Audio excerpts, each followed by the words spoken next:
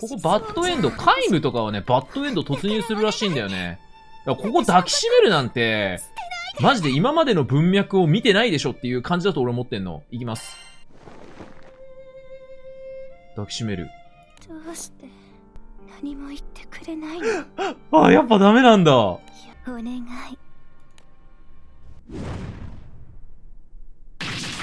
あら。本当に死んじゃったね。愛しい人それは口約束だからお前ら、さっき触られるの嫌がってたやん。離れたくないお前ら触られるの嫌がっとった。傷をお、これでも、生きてるんじゃない？俺。死なないんじゃないか？小指なくなるぐらいで済むんじゃないか？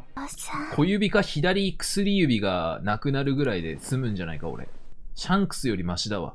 腕がなくなったシャンクスより、まあ、小指か薬指がなくなる主人公なら、まあまあまあ、まだ大丈夫だ。はい、どうも皆さん、こんにちは、みざでーす。ういうい。つうことで、えー本日はですね、昨日の続きということで、えーまあ、あの、ニーアの方、レベル100にいたしました。こちら、あと4アビリティを取得するだけっていうような感じになってるんで、えーまあ、ちょっとシナリオ、追加シナリオ見に行きたいなと思います。まあ、必要なものは、こちらのワールドが描かれたカードですね。はい、交換していくんじゃぞ。からのフェイトエピソードを、溜め込んだフェイトエピソードのその先を行くんじゃ、おっとえー、エピソード試練を超えた先にの閲覧が必要です。試練を超えた先に？なんだそれは？あ、なるほど。ニーヤ入れた状態でワールド一回関係いかんのか。書いてあったかもしれん。忘れたわ。完全に忘れてた。なるほどね。ここのフェイトエピもあるんだ。帯同する世界の気配をたどり、ついに最深部へとたどり着いた水着米津玄師一行。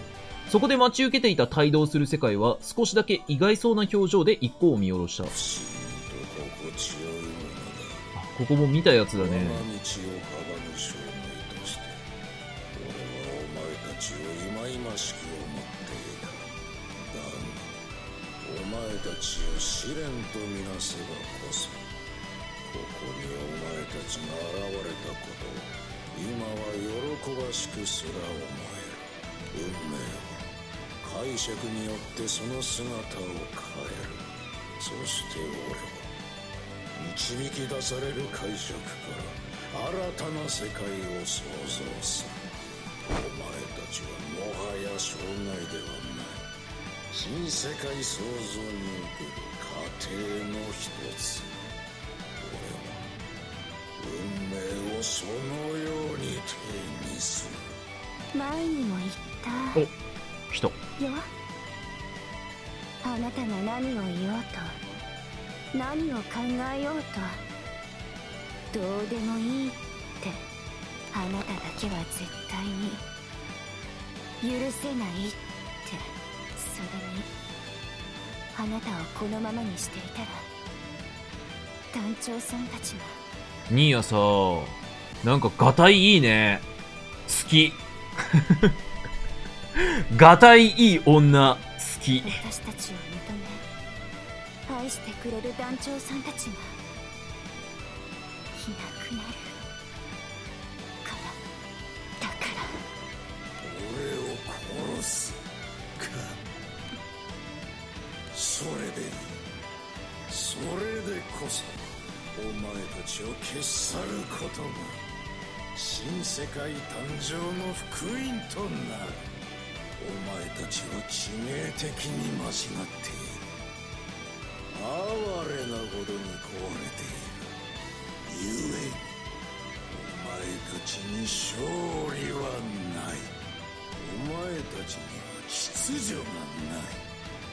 混沌は新世界の洋乱に過ぎない。洋乱。もはや用済みなのだ。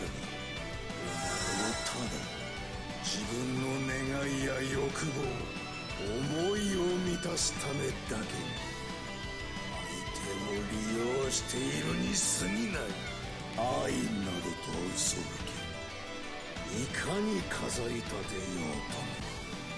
お前のように醜悪な存在は新世界にあってはならない満たされる渇望こそが。摂理に沿ったお前のあるべき姿なのだ。お前が前である限り誰かに愛されたい。認められたいというお前の願いは決して叶わぬあなたの言葉は間違ってる。よ何？だって私たちのお願いは今叶っているから団長さんたちが叶えてくれたから。団長さんたちは私たちのことを心から認めて愛してくれてる。私たちの全てを受け入れてくれてる。そしてそんな団長さんたちのことをね私も心から思っているの。団長さんたちのためなら私は何だってする。この命だって。捧げる？よ。どうしがたい他人の命だけでなく己の命すらいよいよ測れなくなったか。自ら命を捧げてどうなる？愛を渇望していたお前自身が消えそ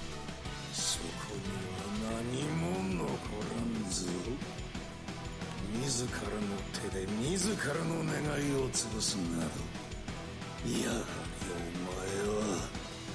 お前は。何を言ってるの？死は永遠の愛の一つの形。だよ。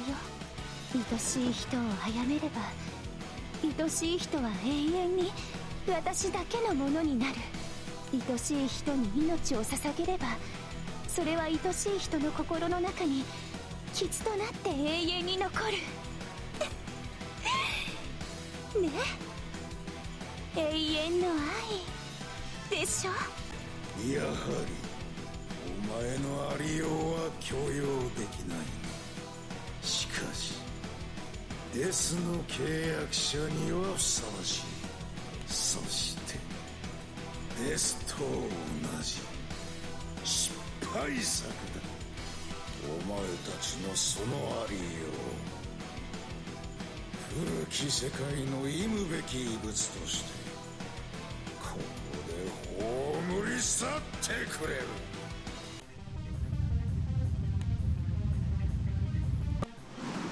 その瞬間、周囲に激しい風が吹き、周囲の色彩が帯同する世界へと吸収されるように集まっていく。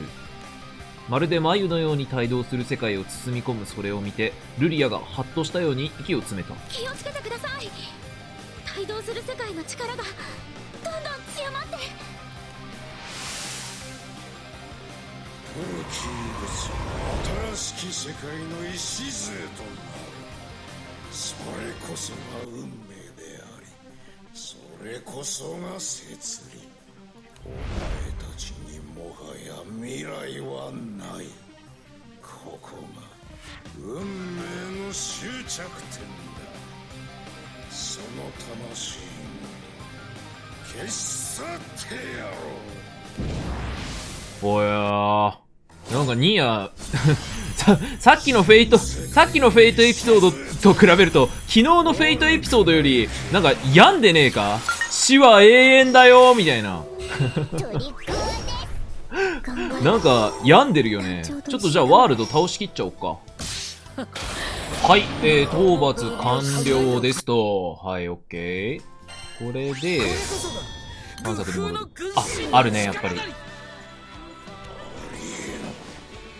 運命は俺の手にある試練はただ俺にひれ伏すのみお前たちは敗北し新世界の誕生に祝福を与える存在。そのはずがなぜ古き世界の人間に遅れを取るなどと。あなただけはここで絶対に消すワーンあなたは愛しい人を傷つけ。絶対絶対に許さない。あなたには死という絶対の終焉を与えましょう。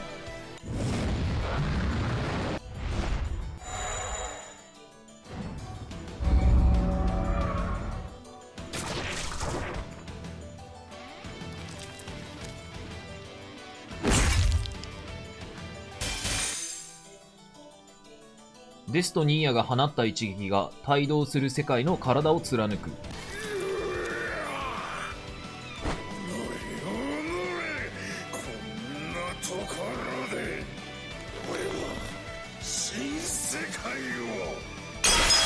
何かを求めるように伸ばされた手はただ空を切り帯同する世界の全身がひび割れる。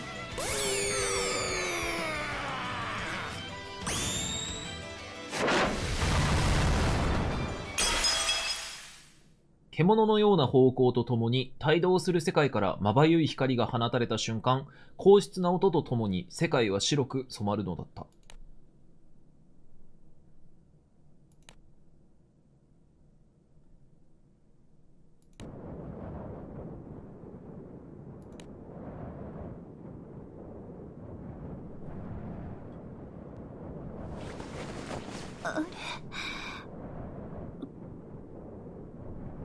こうわおいらたちどうなったんだ帯同する世界のやつは白い光が収まった後目を覚ました水着を根付剣士たちは船の甲板に倒れていたことに気づく。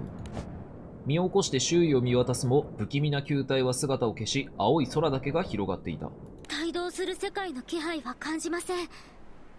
あの球体も消えているみたいですし本当に終わったんでしょうか？とです。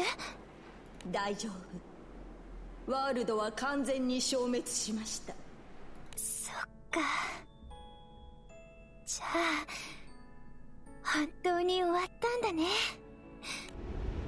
そうつぶやいてニーヤは晴れ渡った空を見つめる。愛しい人。これで邪魔者は消えました。これからどうする？何も変わらないよ。デスと団長さんたちとずっと一緒にいる。それが私の願いだから。あとはそうだね。新しい道を探すのを頑張ってみようって思う。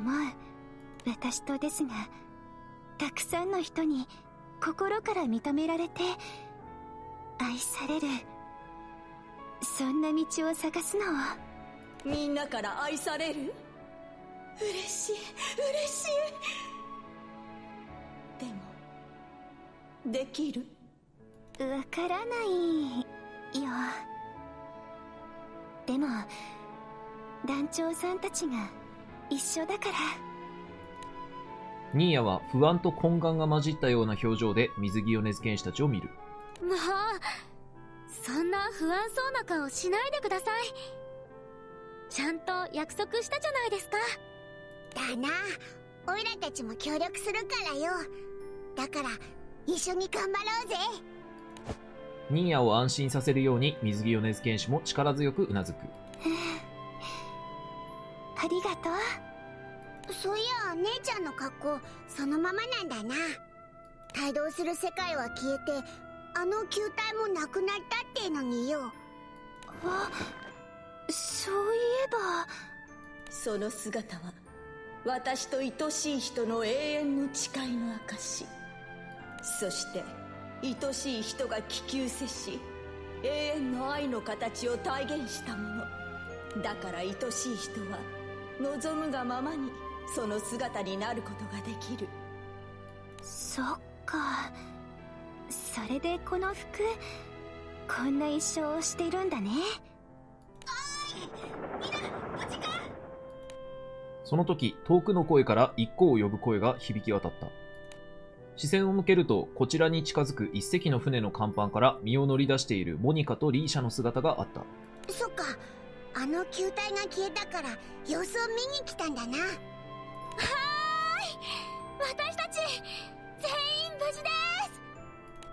水着米津剣士たちとこれからも一緒にいることができるその事実にニーヤは安堵の表情を浮かべた後その顔をデスへと向ける。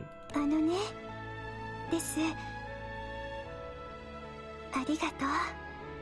愛しい人どうしたの？あなたがあの時私を助けてくれなければ私は誰にも認められず愛されずに死んでた。今私がこうして団長さんたちと愛しい人たちと一緒にいられるのは全部デスのおかげ。だからね。改めてお礼を言いたかったの。愛しい人。それは私も同じ。私もあなたに。私を理解し愛してくれる人に出会えて本当によかった。私と一緒だねねえですこれからも幾久しくよろしく幾ね久しく。聞かないな 愛しい人なかなか難しい。聞いたことない。初めて聞いたかも。幾久しく。帯同する世界は消え、空の世界の危機は去った。それは少女の新たな物語の始まりを告げる合図。未だ少女の心の中に宿る狂気は消えず。されど少女はそれを抱いたまま歩き出す。それが歪である。そのことに気づかぬままに。なんかさ、そう、最終上限解放のさ、イラスト自体がさ、なんか、この、この状況ってあんまりなかったよね。今までのフェイトエピソード。うん。ちょっと不穏になってるんだけど、もうそれはそれとしてカイムと比べるとなんか落ち着いてたね。なんかカイム最終はもうちょっとこう殺伐としてた感じしたんだけど、あの、ニーヤのフェイトエピソードここまで比較すると割とほんわかしてたような気がしなくもなかったですね。あのワールドのエピソードは。ほな、行きましょう。対戦よろしくお願いします。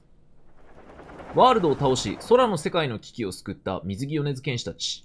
それから数日、水着米津剣士たちはいつもの日常に戻っていた。こんなのあったっけ？イラスト。ごちそうさま。ニーヤさんもういいんですか？ほとんど食べてないですけど。うん。あまり食欲なくて。でも昨日もほとんど食べてませんでしたよね。そうかな。っていうかよ姉ちゃん顔色悪くねえか？なんか青白いっていうか血の気がないっていうか。大丈夫。その疲れがまだ取れてないだけ？だから。それならいいんだけどよ。ありがとう。私のこと心配してくれて。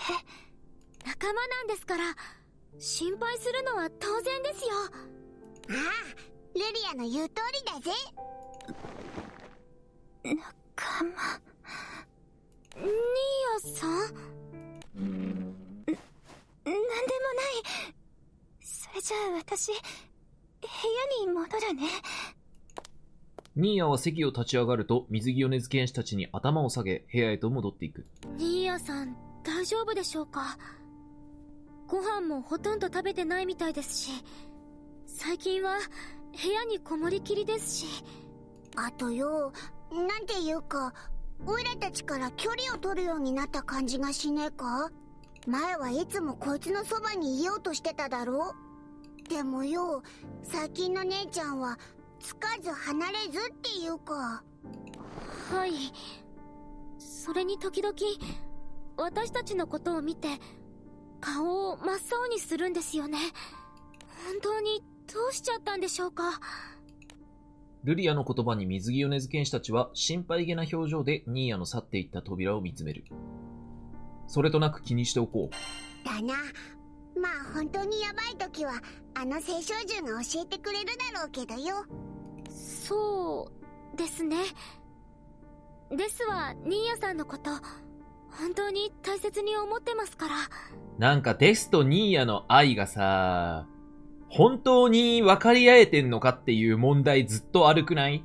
なんかデスとニーヤのなんかその愛の齟齬はちょっと今回ありそうな予感がしてる。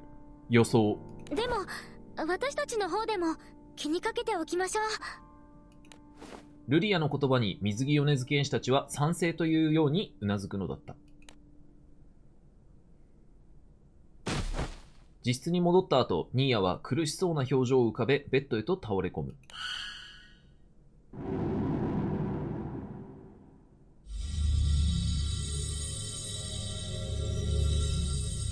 愛しい人大丈夫？どこか痛い？苦しい？大丈夫。本当に疲れてるだけだから。でも。ありがとう心配してくれて。でも本当に大丈夫だよ。愛しい人。ねえです。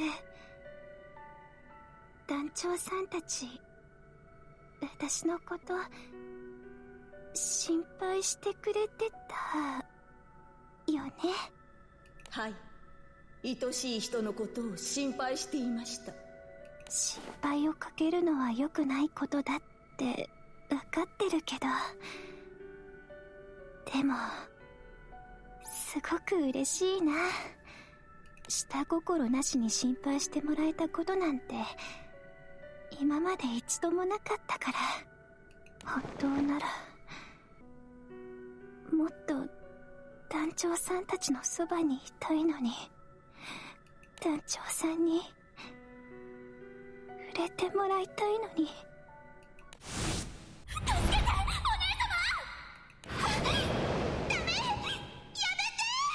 ああ、このシーン。フラッシュバックしちゃうんだ。団長しばいたことを。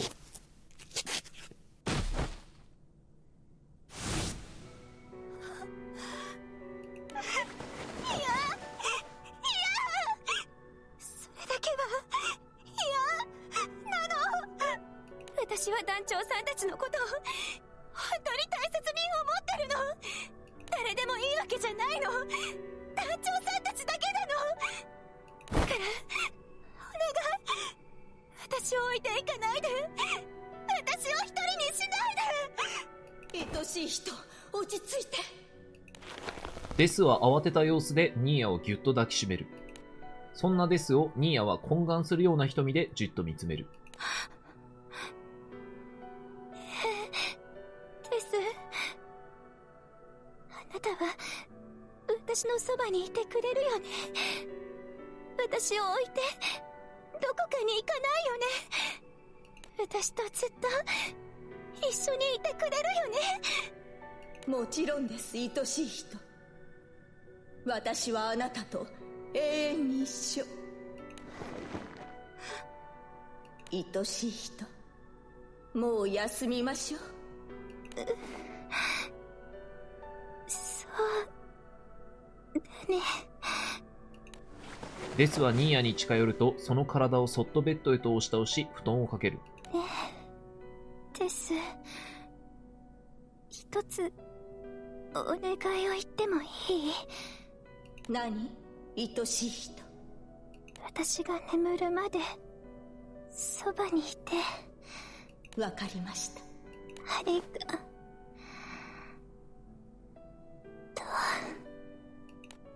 うなずくデスの姿にニーヤは安堵の表情を見せる。そしてそのまま深い眠りへと落ちていくのだった。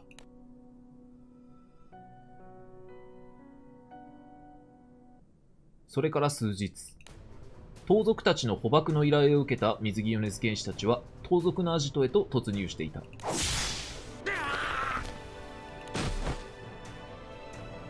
願い力を貸してユグドラシル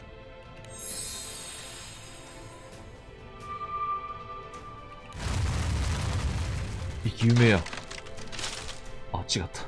次の瞬間、伸びた木の根がロープとなり、瞬く間に盗賊たちを拘束していく。で終わりみてえだな。ですね。あとはこの盗賊さんたちを町の衛兵さんに引き渡せば。クソがせめてお前だけでも道連れにしてやる。一瞬の隙をつくように死角から飛び出してくる盗賊の男。そして男の狂人はまっすぐに水着米津剣士を捕らえ、水着米津剣士を守るためにとっさに生命を操る魔法を使おうとするニーヤ。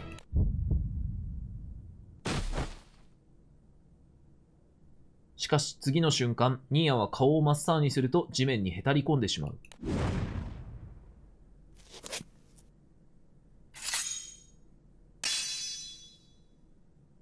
愛しい人私に任せてあわやという瞬間、水着米津玄師と男の間に現れるデス。そしてデスは男の手に握られていた探検を弾いた後、返す刀で男の体を切り裂く。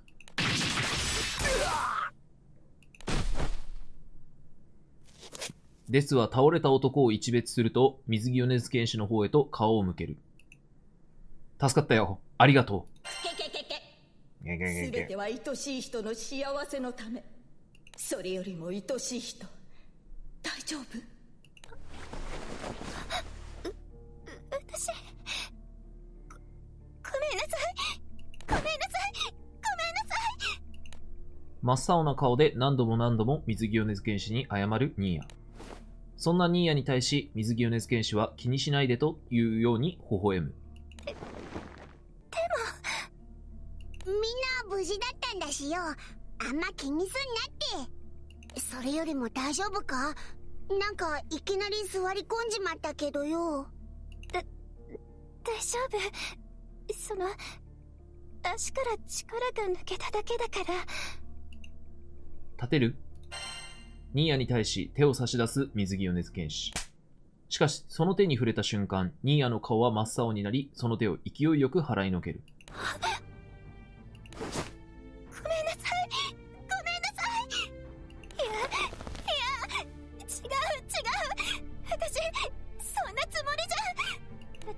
長さんのことが本当に大切で本当に愛してるの。だからあなたたちの言うように誰でもいいわけじゃない。団長さんたちだけなの。私のことを下心なく助けてくれたのは私の気持ちを考えてくれたのは私を心から認めて愛してくれたのは。だからニーヤさん。落ち着いてください。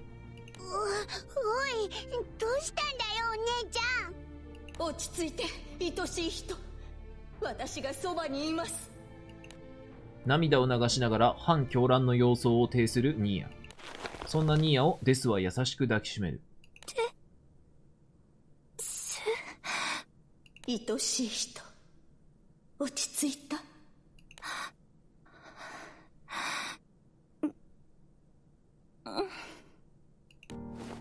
そその団長さんもごめんなさいいきなり取り乱してあのニーヤさん最近どうしたんですか少し変ですよ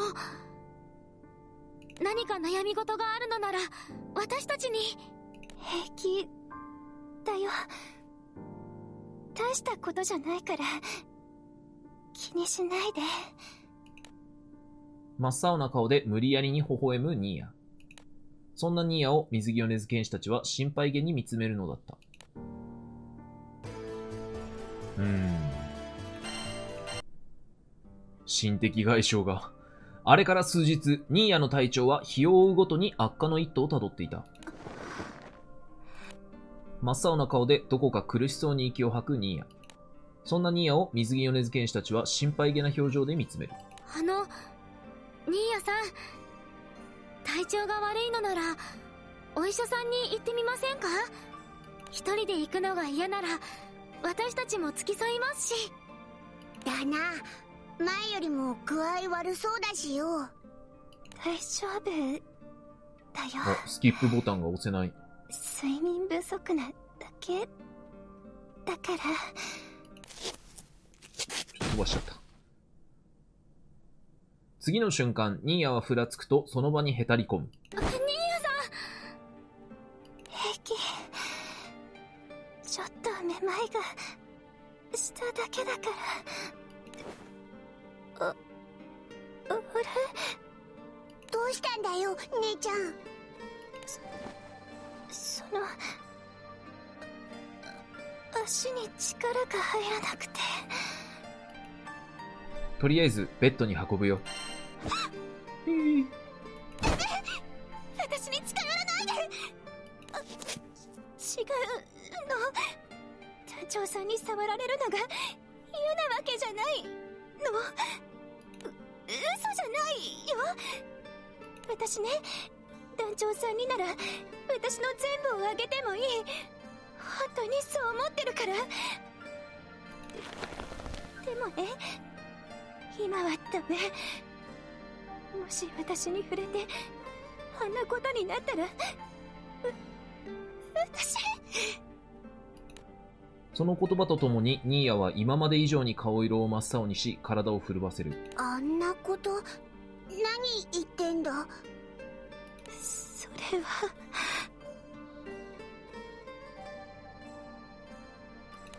ああのとりあえずお話は後にしましょう。今はニーヤさんを休ませないと。愛しい人のことは任せて。ニーヤの胸元から突如響く声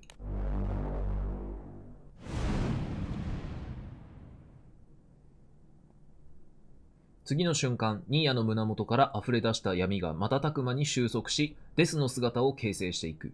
ありがとうです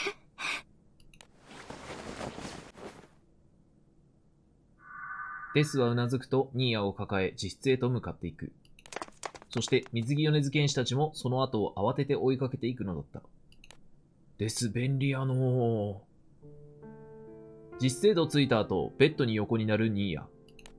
水着米津剣士たちはそんなニーヤに近寄ると心配げな表情で見つめる。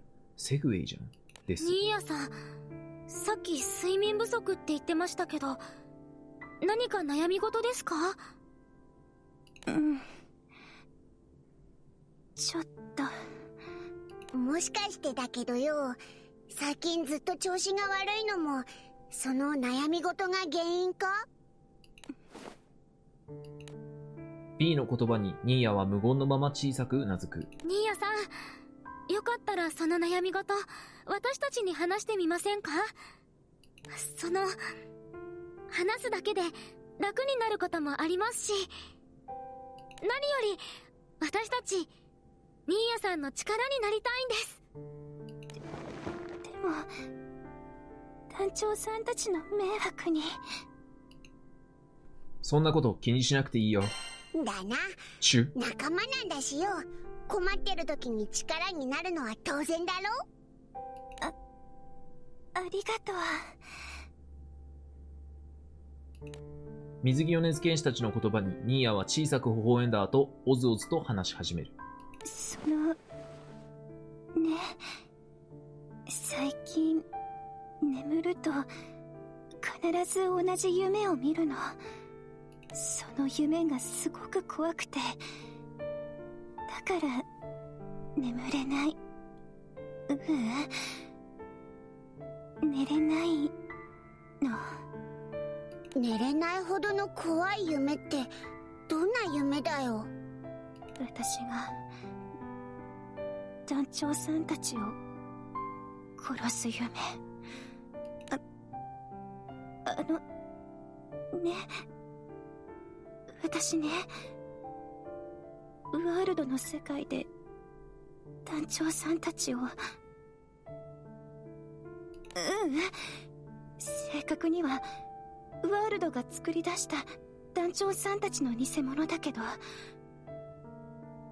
それを殺したの。え驚く水着米津剣士たちにニーヤはワールドの世界であったことをゆっくりと話していく。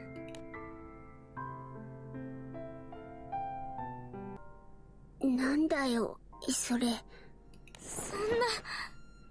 ひどすぎます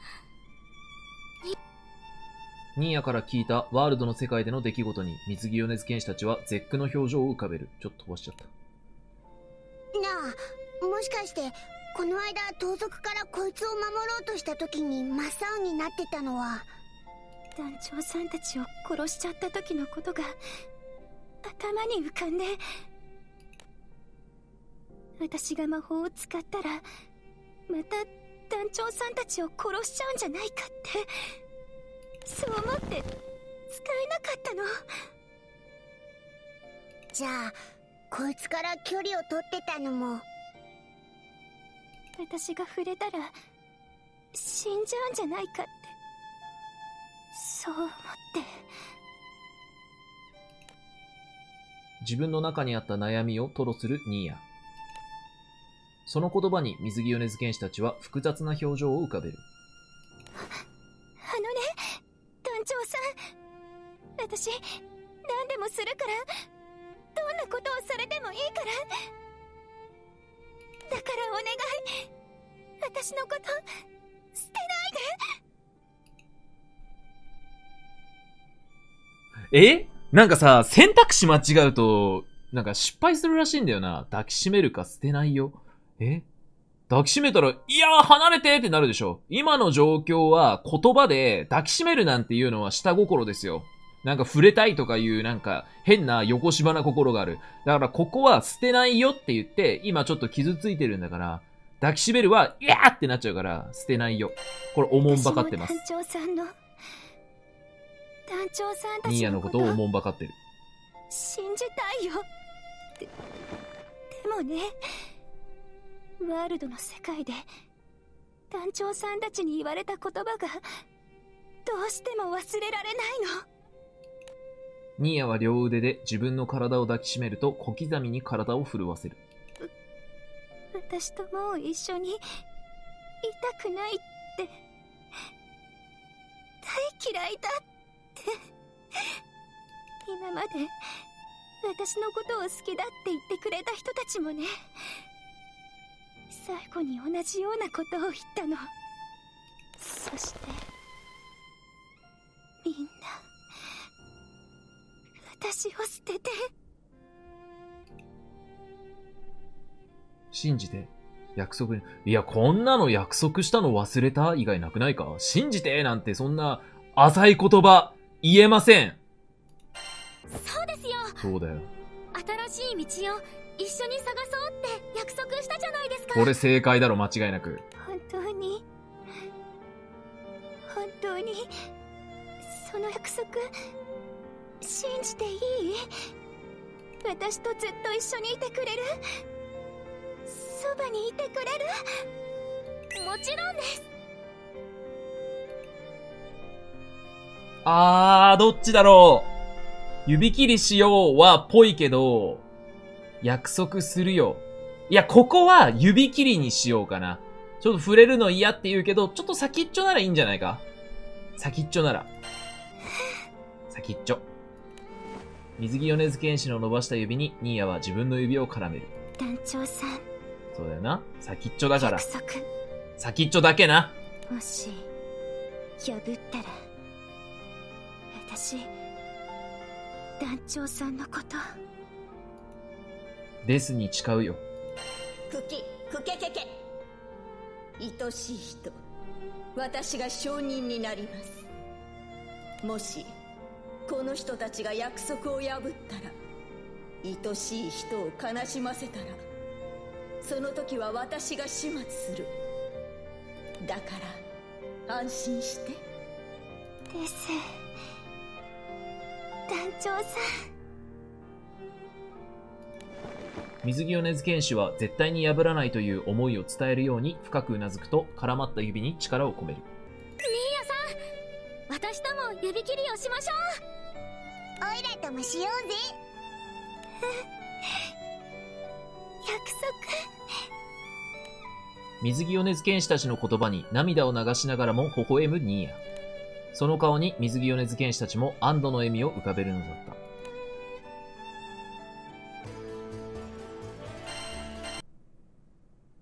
それじゃあスキップボタン復活してる。姉ちゃんちゃんと休めよ束その何かあったらすぐに部屋に来てくださいねあありがとう水着米津玄師たちはニーヤに頭を下げると部屋を出ていく。そしてニーヤも水着米津玄師の言葉に従い、そのまま睡魔に身を任せるのだった。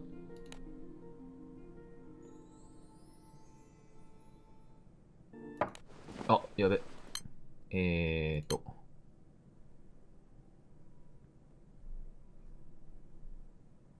えー、皆がねじすまった深夜、水着米津玄師の部屋にノックの音が響く。それに気づいた水着米津玄師は眠い目をこすりながらも扉を開ける。あの、団長さん。ごめんなさい。その、寝てた、よね。どうしたの？眠れないの。団長さんたちが約束してくれたから、安心できたはずなのに、なのに、まだ怖くて、一人で寝ると、またあの夢を見そうで。だ、だからね、団長さん。今日は、一緒に寝ても、いいやべえ、これ、エッチシーンだ。俺、エロゲーで知ってるわ。これ、エッチシーンに入るやつだそばにいてくれたら、安心できるから。だから、俺、エロゲーマスターだからわかるけど、これ、エッチシーンあるわ。グラブルついに来たか。ありがとう。いいよ。バッチ来い。それじゃあ、お邪魔します。ニーヤは満面の笑みを浮かべると、水着米津玄師の寝ているベッドに恐る恐る入ってくる。団長さんの匂い、すごく安心する。おい、一万円必要だろう。ここ、ベッドに入った一万円必要だろうが、エロゲーで学んでるだろ、俺たちは。サイゲームスどうしちまったんだよ。一万円が必要だろ、ここは。その言葉とともに、ミザはさらに その言葉とともに、ニーヤはさらに自分の体を水着米津玄師へと近づけていく。団長さん、わがまま、言ってもいい？その言葉に水着米津玄師はもちろんという様子でうなずく。あのね、手、繋いでほしいの、ダメ？水着米津玄師は首を横に振ると、ニーヤの手をぎゅっと握る。団長さんの手、あったかい。ねえ、よかった。私が触れてもあったかい。今日は、ゆっくり眠る。おやすみ。おやすみなさい。団長さん。ニーヤはそう言うと安らかな表情で眠り始める。そして、水着米津玄師も襲い来る睡魔にその身を委ねるのだった。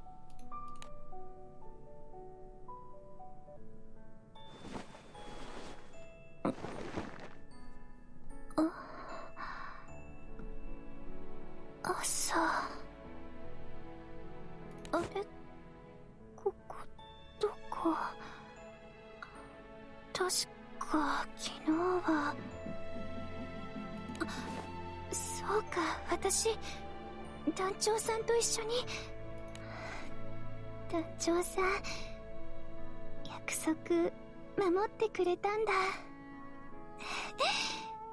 嬉しいな。繋がれたままの手から伝わる温かくも柔らかな感触にニーヤは嬉しそうに微笑む。愛しい人。もう大丈夫？辛くない？うん。もう大丈夫だよ。これも団長さんたちのおかげだね。よかった。愛しい人が元気そうで私も嬉しい。ごめんね。デスにも心配かけて。どうしたの？デス。そんなに私をじっと見て。愛しい人。今幸せ？うん。やばい。そうだね。ならここで殺してそれを永遠にしましょう。ザクーやん。まずいって、ニーヤその返答は。死ぬど。ニーヤは繋いでいない方の手で寝ている水着米津玄師の頭をそっと撫でていく。団長さんたちは私のことを本当に認めて愛してくれているそのことを心の底から信じられるようになったから本当はねずっと不安だったの団長さんたちも今までの人たちみたいにいつか私を捨てるんじゃないかって。でも今ならそれが間違いだって。団長さんたちは私たちを捨てたりしないって。そう信じられるの。そう。です。私ね団長さんたちを誰にも渡したくない。絶対に失いたくないの。団長さんたちに好かれるためなら何でもする。命を懸けてもいい。本気でそう思ってるの。愛しい人。真に愛する人を見つけた。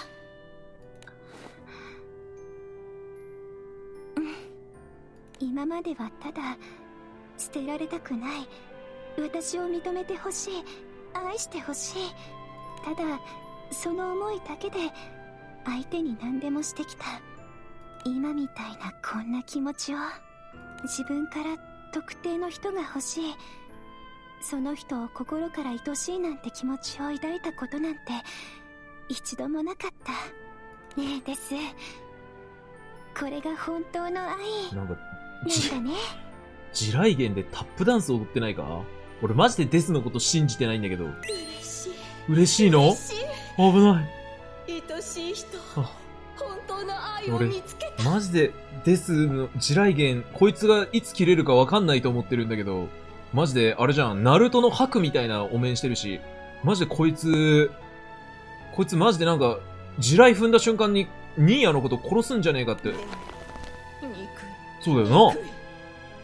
憎い愛しい人は地雷原タップダンス状態よ。デスのことももちろん愛してるよ。片手間。私たちは結び合った。だから私の気持ちは誰よりも分かってるよね。愛しい人がどれだけ私を思ってくれているか愛してくれているか知っています。大丈夫ずっと一緒だよ。ニーヤはデスにそう告げた後、寝ている水着米津玄師へと目を向ける。団長さん私ね。団長さんのこと本当に愛してるよ。だからね喜びの時も悲しみの時も団長さんを愛し敬い永遠に共にいることをここに誓うよ一生一生エンゲージリング。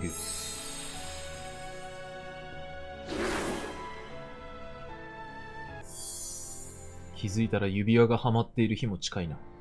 誓いの言葉にこうするかのようにニーヤの服が変わっていく。絶対に絶対に離さないからね団長さん狂気と情愛が混じった笑みで水着米津玄師を見るニーヤ。水着米津玄師たちは気づかない。彼女の心に生まれた新たな思いを。それこそが最も尊いと歌われるものにして、最も狂気をはらむものであることを。その思いの果てにどのような結果が待ち受けるのか。その答えを知る者はまだ誰もいないのであった。はあ、死と共に行きし者。ということで、ニーヤ4アビ習得しましたね。まあ、不穏なオーラしてるけど不穏じゃないのかもしれないって思い始めたわ。ニーヤは大丈夫なんだけど、俺デスがさ、マジで、怖いわ。俺デス、デスの気持ちがわからないのがいっちゃん怖い。デスは、なんか、なんか怪しいよな。俺デスのことを信じてないんだよね、本当に。俺本当にデスのことをさ、信じてないんだけど、いつかあいつが反旗を翻すんじゃないかと、あのー気になって仕方がないわ。ちょっとじゃあ、あのーあの、選択肢失敗選んでみよっか。うん。選択肢ちょっと失敗選んでみようぜ。これは違うな。あの、シナリオスキップできないやつでさ、よいしょ。うん、シナリオスキップできないやつがあったからさ、ちょっとそこで、あの、失敗エピソード見て、よいしょ。これじゃない？これで、まず1個スキップして、ここだね。これで、これでさ、もう明らかに悪いやろみたいな選択肢をちょっと選んでみよう。俺やっぱ恋愛ゲーム上手いからさ、恋も上手いし。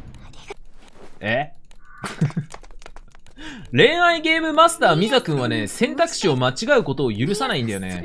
なんだけど、まあ、俺、俺が選択肢間違えたのって、マジで Fate/stay night ぐらいなんで、あの、そこら辺考えるとね、もう選択肢なんてもう正しいのしか選んでこなかったですから、ちょっと今回はあえて逆、逆選択で、ここバッドエンド、カイムとかはね、バッドエンド突入するらしいんだよね。だからここ抱きしめるなんて、マジで今までの文脈を見てないでしょっていう感じだと俺思ってんの。いきます。抱きしめる。どうして？あ どうして？何も言ってくれないの？や っあ、やっぱダメなんだ。あぱりあははは。私のこと捨てる？あらららららら。の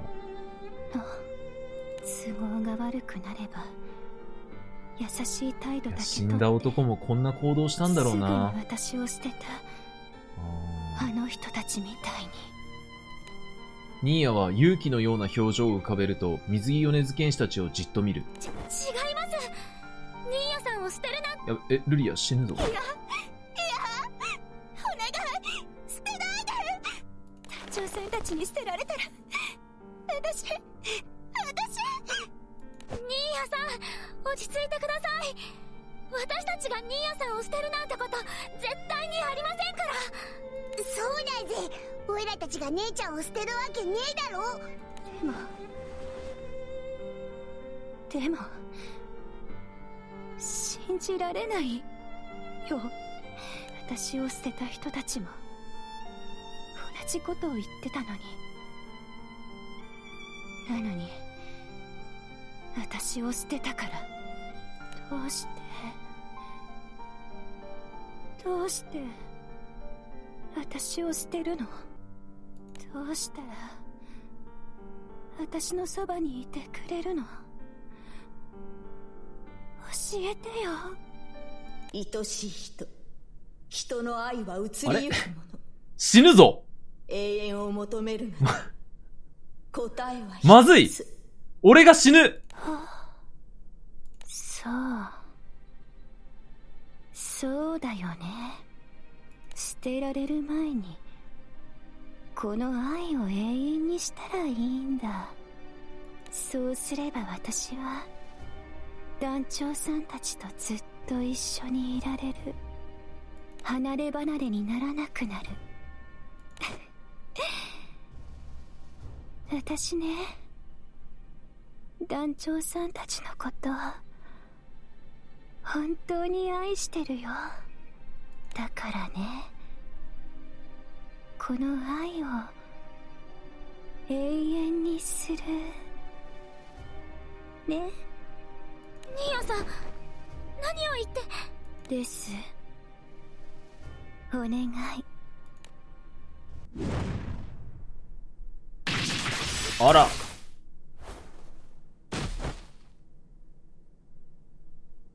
本当に死んじゃったね。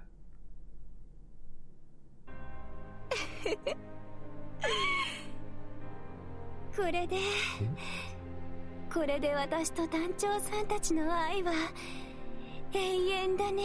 え、他に船の中にいる他の人たちが見たらどう思うの？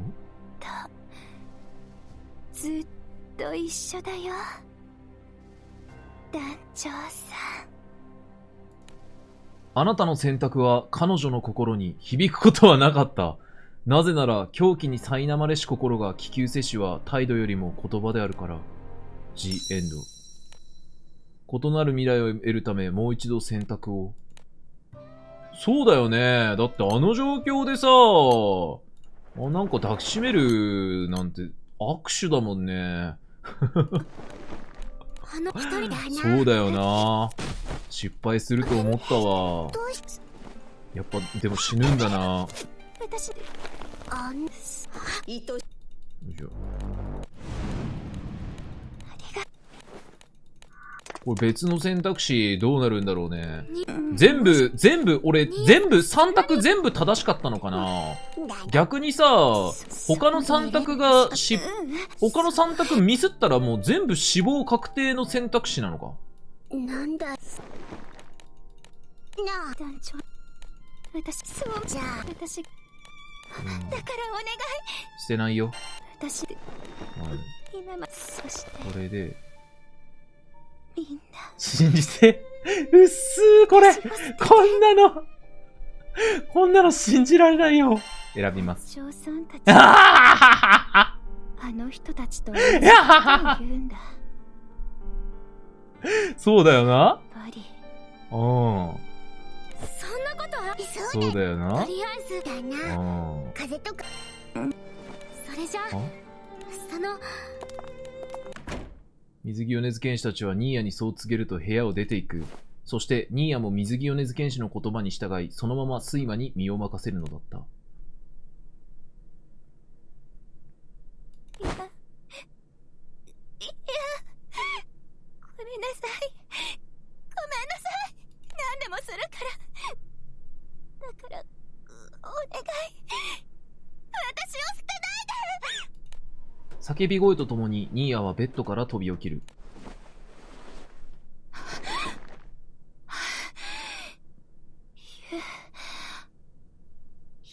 夢安堵の吐息をつくニーヤ。しかし、その顔はすぐに歪み、その瞳からは涙が流れ始める。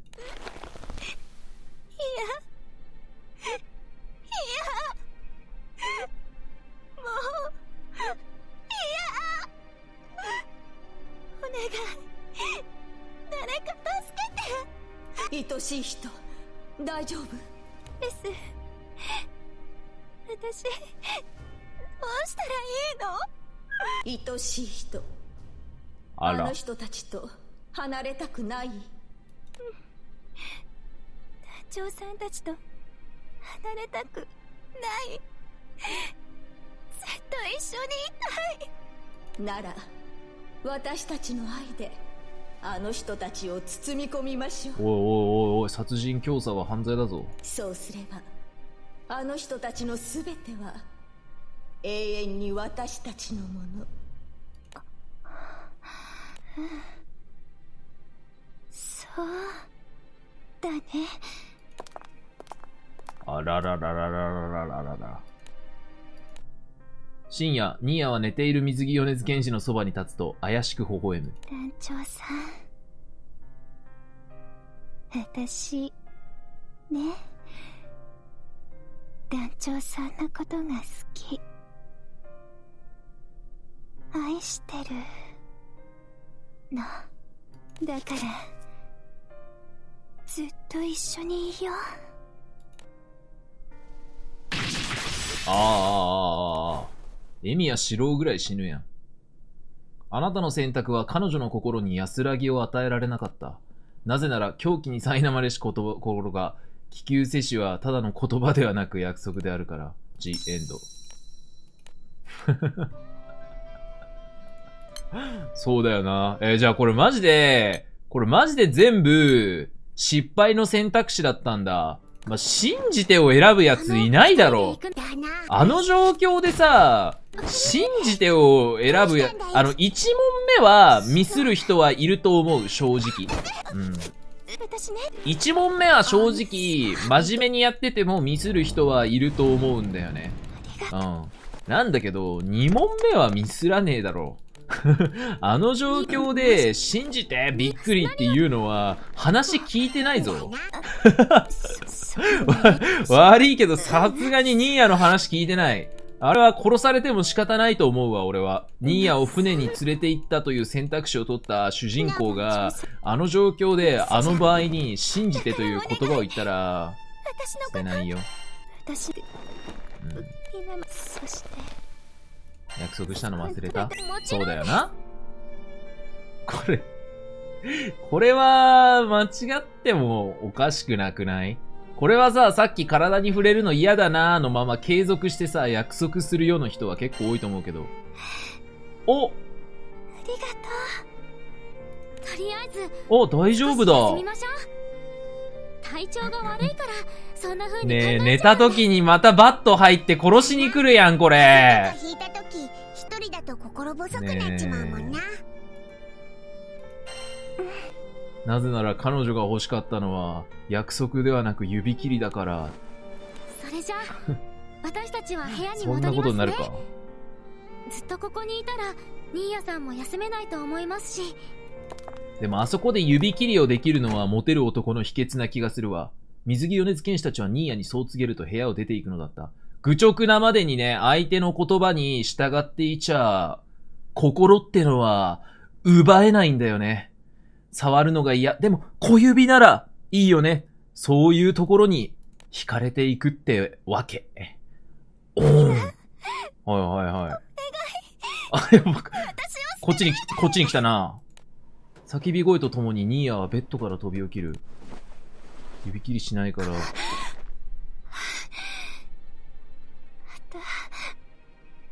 の夢、夢見ちゃった。なんで、どうして、こんなに不安なの？さっき、団長さんたちと、ずっと一緒って約束したのに。